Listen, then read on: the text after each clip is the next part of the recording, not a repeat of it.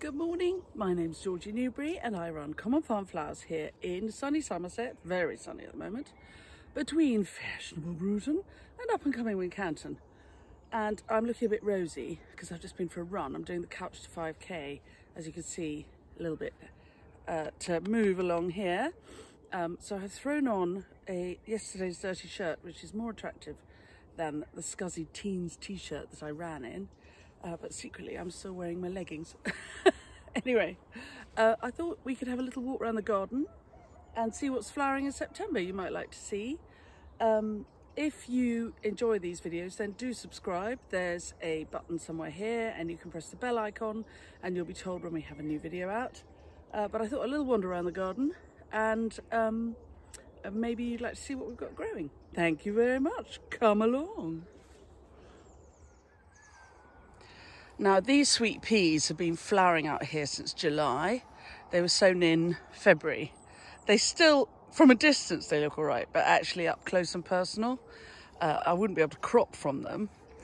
Um, for little weddings though, still just enough little, the odd stem, but not anything major.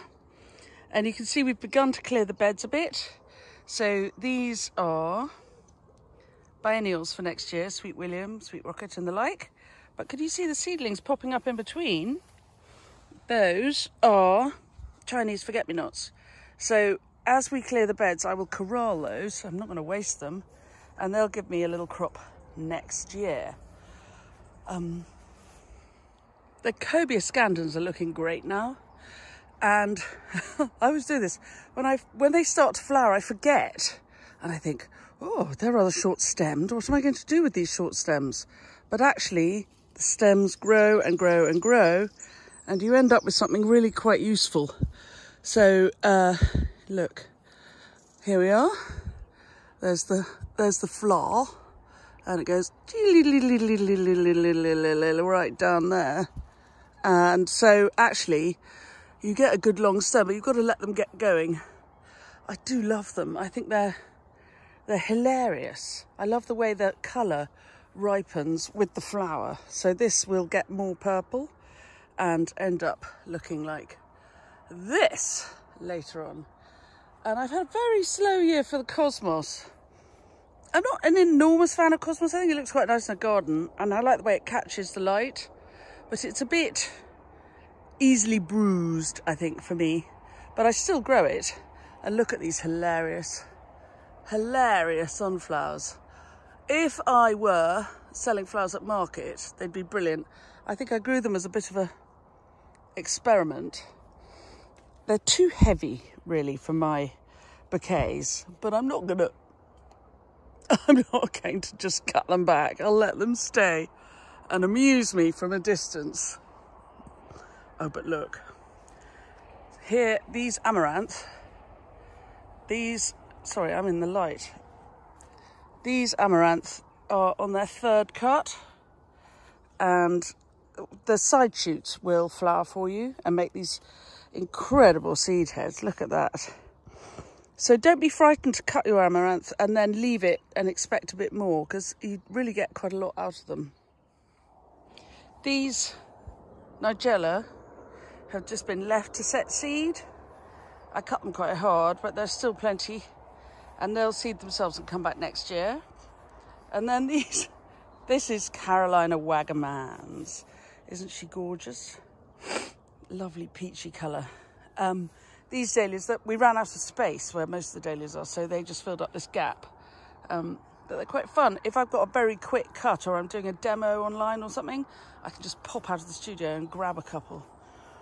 And these roses just went in this year. They took a while to settle because we had such a cold spring, uh, but they're really beginning to have some fun now.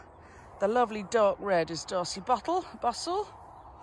Um, I cannot remember for the life of me what this pink one is. Uh, I'm hopeless with names, but here we have really lovely Roald Dahl. Just love that apricot colour. And you can see we've still got it's September, but you know, they're still going. More amaranth, more, more, more, more, more. The zinnias have been great this year, and I've been cutting these incredibly hard, and on they go. Love the monarda. such a great scent. I've got posies going out for a party this Thursday and um, special requests for scent. And so I'll make sure some of those are in there. Snaps have been great for me this year. I'm not the world's greatest snap there, speak snapdragon grower, uh, but I may change my mind. and my beloved Rudbeckia. Honestly, it goes on and on and on. It's such a great flower. Give me a Rudbeckia over a sunflower any day of the week. Look at that. And then more biennials. You see, as we make space, we pop the biennials in. And while we're getting 30 degree heat days at the moment, so long as I don't leave them alone and water them a bit, and they've got a mulch of Lakeland Gold to stop them drying out, and they're doing quite nicely. Um, and then a little late crop of Ammi visnaga, you know, just bits to take me through to the end of the year. And look, there's a dahlia that got left in the ground when we lifted them all last year and it's popped back. I won't, I won't mind. And then here amongst the nettles, we don't mind the nettles, that's why we have butterflies. We have more seedlings ready for planting out. And do you remember we took some cuttings the other day? Well, looky here. You can go back and look at the other videos, but there's a cutting that's taken really nicely. That looks extremely happy. Um, they're all just sitting there doing their thing, so they're okay. And those are some delphiniums for next year, which I sowed, I think on the 21st of June. And down here we have, look at that lovely blue. Can you see the blue? That is Salvia uliginosa, my beloved blue sage, behind the Verbena bonariensis. And the phlox has kind of had it, but in the middle of the bed, I've got, you know, I'm always chucking a bit of seed in the ground if I've got a gap. Well, look, a little bit more cosmos to take me through. It's just beginning to flower. Um, and more amaranthus at the back there. Don't want to waste the space. And here we have the dahlias. They really are having a good year. The skill with dahlias is really, really is just keep picking. Pick, pick, pick, pick, pick. The white glad here is amaranth is um, acidanthera. Oh good, lots there for my white posies this weekend. They're very highly scented. They smell, you don't want to put too many in a bouquet because they make, they smell, if you put too many, it smells a bit like cat pee. but one or two is breathtaking. Oh, look at my babies. Oh, I do love them. Look at my friends. I mean, the colours. Ah, that's all you need in life, really, is a great big long bed of dahlias. I mean, just, just, oh, I know, I'll shut up. Very top tip, always fence your cut flower patches with a place to put your mug. Um, anyway, in we go. Here we have the roses coming up a treat.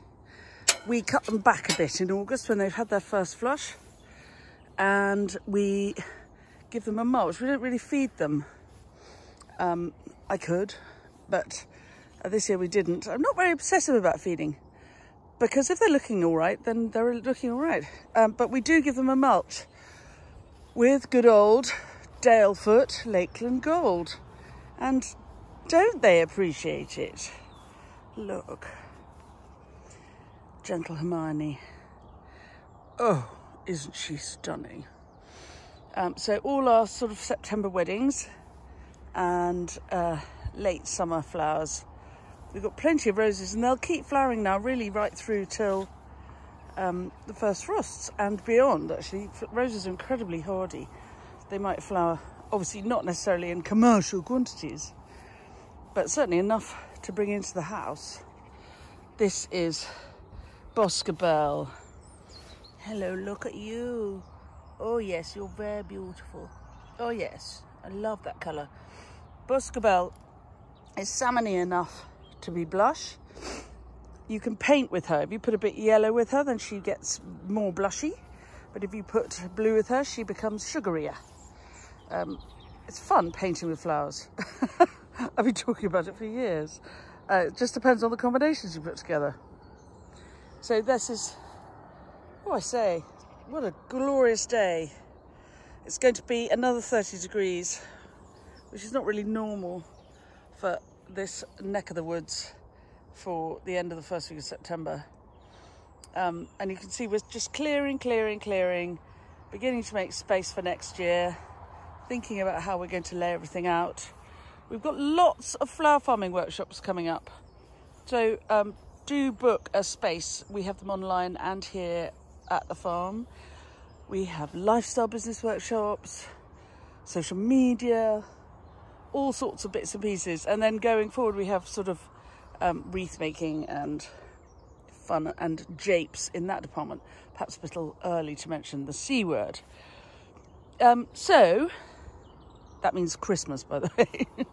so if you're enjoying these clips, and um, then do subscribe, and uh, you can always buy me a coffee as a thank you. The link is in the bio. Uh, I'll be very grateful because it encourages me to make more clips. Um, yes, look, there's the gate. Can you see? You can just see the mulch there. What happens is we mulch the roses and then the birds come along and move it around, spread it out for us. And don't the roses like it? Yes, yes, yes, they do. Here is more. That's, um, this is also Roald Dahl. Oh, yes, it is. And the yellow pipe going through, that's a watering system. oh yeah, we're very sophisticated here, I can tell you. Anyway, onwards and upwards. So thank you for watching. Look, nettle. Uh, but I've said it before and I've said it again. If you don't have nettles, you won't have butterflies. And if you don't look after the invertebrates, the rest of the food chain, including us, will suffer. Anyway, enough lecturing. I hope you've enjoyed this clip. Um, I now have to go the school run. I made it early in the morning because it's going to be so hot today that I'm going to have to go and lie down in a darkened room. As you can see, 10 whole minutes later, I'm a little bit cooler, but uh, after the school run, I will give everybody a shower. Uh, everybody, me, a shower. Thank you for watching. Do subscribe. Do press the bell icon. Feel free to buy me a coffee. The link is in the bio and I'll see you again soon. Thanks very much for watching. Bye.